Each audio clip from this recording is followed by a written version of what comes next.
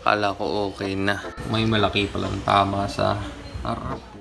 Rin natin yung board. Tinan natin kung may tutulo. Pag may tumulo, ibig sabihin, ah...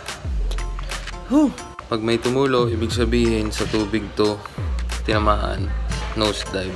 Pero sa likod lang yung tama eh. Pag walang tumulong tubig, ibig sabihin, tatapakan to sa mga batuan ng mga isa sa guest. Ah, saklap. Okay lang yan. Kaya ko i-repair yan. Repair na natin. Ayan na. Hardener tape, cutter, ang glassing, fiber cloth. Ayan mga... Okay. Ang good news, walang tubig yung loob. Walang tumutulong tubig. So, ibig sabihin, sa lupa, nadaganan to. Ang bad news, kailangan na natin siyang gawin. okay, muna natin gagawin. Tatanggalin muna tong mga nag-crack.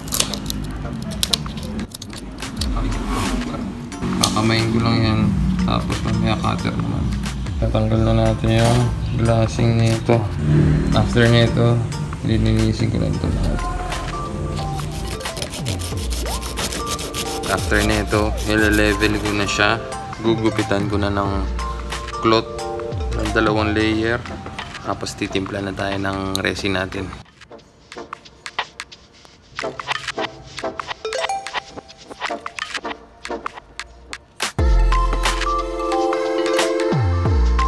So, pinahantay lang natin matuyo. Tapos, after na ito, ilalagyan ulit natin ng isa pang patong para pangpantay dun sa mismong ah, uka niya. Ngayon, sure ball na matibay na yung ano. Ito yung nga ang ating glass na natira. So, sure na to na tuyo na rin to.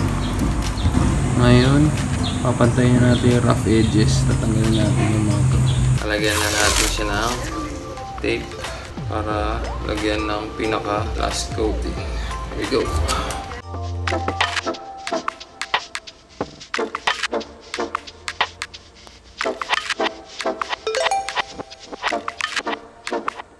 Konting wet sanding. Okay, so tapos na. Meron lang uka. Ayan. Ah. Pero, iwan ko na yan ng ganyan.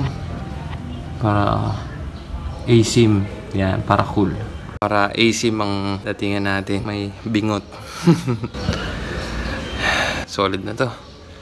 Alright, tapos din.